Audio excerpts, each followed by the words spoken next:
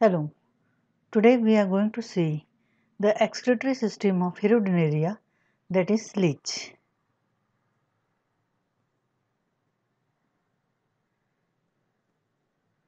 The basic unit of excretory system of leech is nephridia.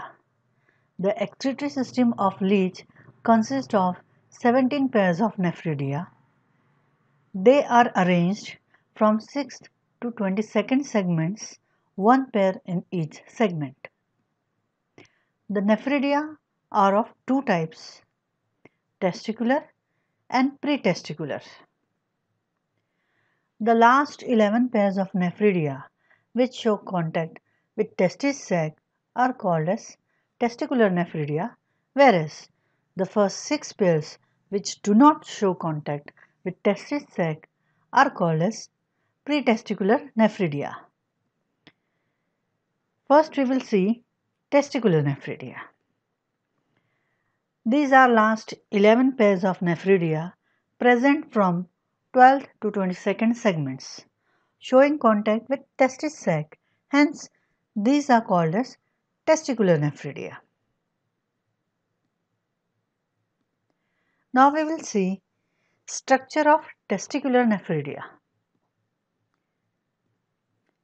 Now this is the complex structure of testicular nephridia and body wall showing nephridiopore. A typical testicular nephridium is a horseshoe shaped structure. Each nephridium consists of the following six parts. First, main lobe. This is main lobe. Second, vesicle and vesicle duct. This is vesicle and vesicle duct. Third, apical lobe. This is apical lobe. Fourth, inner lobe. This is inner lobe. Fifth, initial lobe. This is initial lobe. And sixth, ciliated organ. Here you can see ciliated organ. Now we will see each part of nephridium one by one.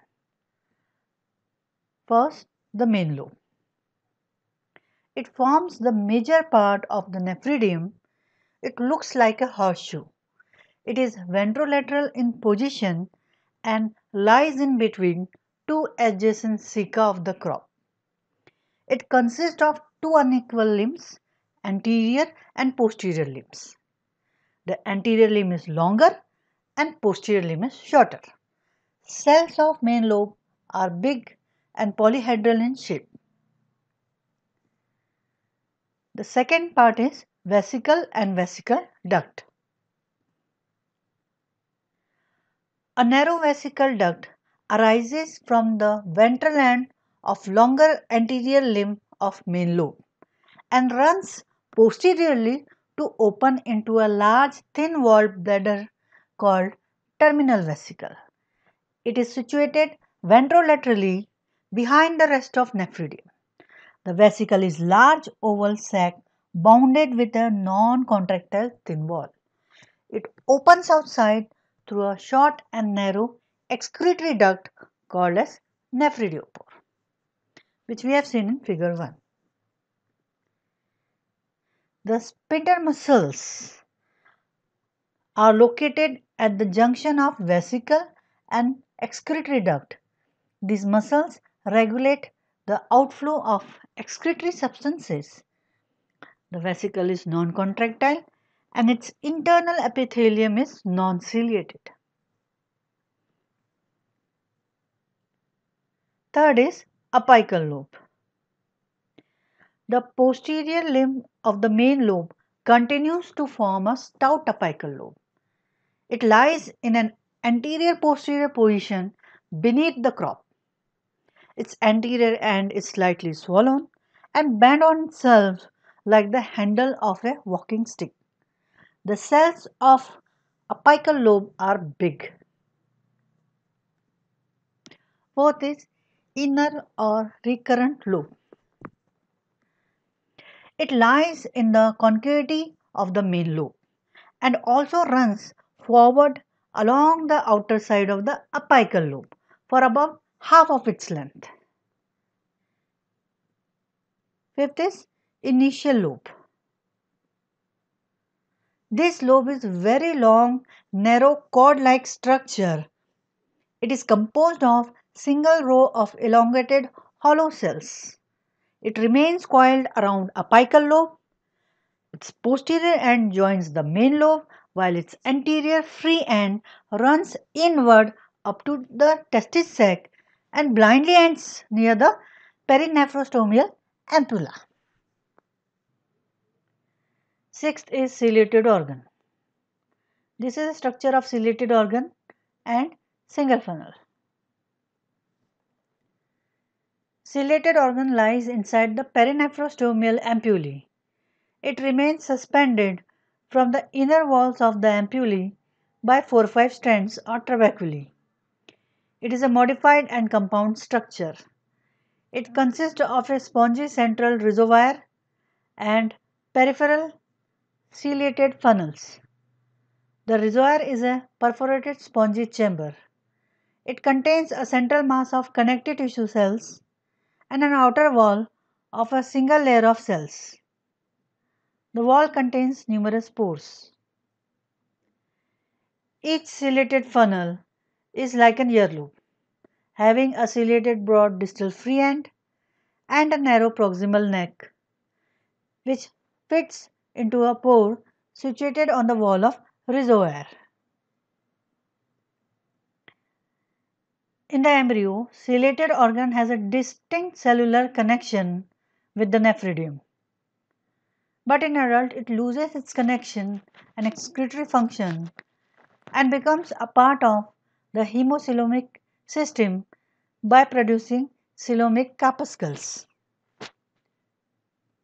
So far, we have seen about the various parts of testicular nephridium like the horseshoe shaped main lobe, the bladder like vesicle, a narrow vesicle duct, the inner lobe in the concavity of the main lobe, the walking stick like apical lobe, and a cord like structure that is the initial, initial lobe which ends in the testis sac, and the ciliated organ and the perinephrostomial ampullae.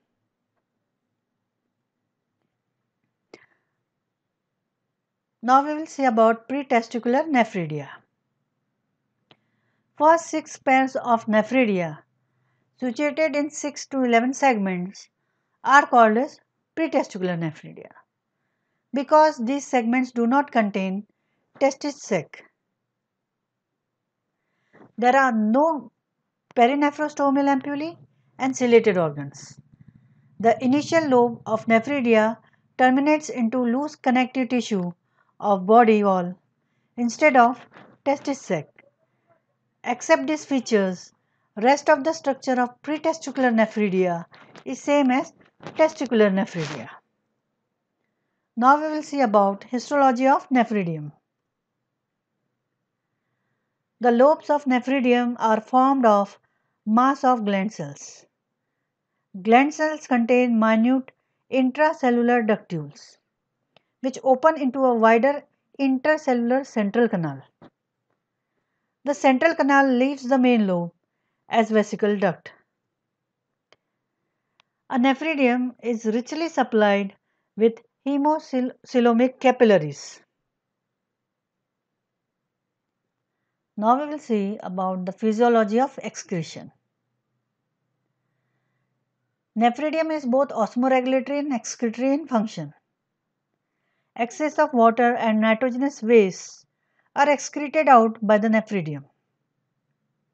Nephridial gland cells separate the waste products, chiefly ammonia, from the hemocoelomic fluid. The excretory fluid is finally collected in the vesicle and excreted out through the nephridiopore. Leech excretes hypoosmotic urine. The salts are reabsorbed from the urine by the nephridial tissues. Here we have finished about the excretory system of leech. Thank you.